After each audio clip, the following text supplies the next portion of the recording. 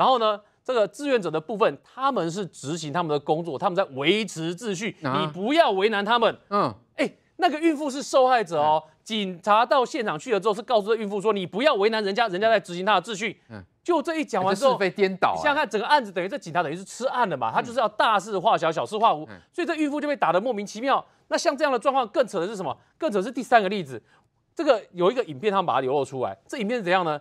他的明明就是外送的菜哈，这还可以送送，已经送来了一大包哦，四五袋就放在他的门口前面。然后一个有 muscle 的健身的男子呢，你就看到他跟他前面的志愿者穿着大白色的隔离衣的两个之间呢，在在沟通，沟通什么呢？他说这是我的菜，你要给我啊。就你知道这个志愿者做了什么事吗嗯？拿那个消毒的哦，在菜上面喷一圈，你这个东西呢有毒不能要，嗯我要把它带走。然后就他就跟他说，哎，我明天要吃，后天要吃，大后天也要吃，我没东西吃，你你凭什么把它给带走嗯？他就志愿者就跟他说，你不要找我麻烦，它就是有毒的东西，他就要当垃圾处理。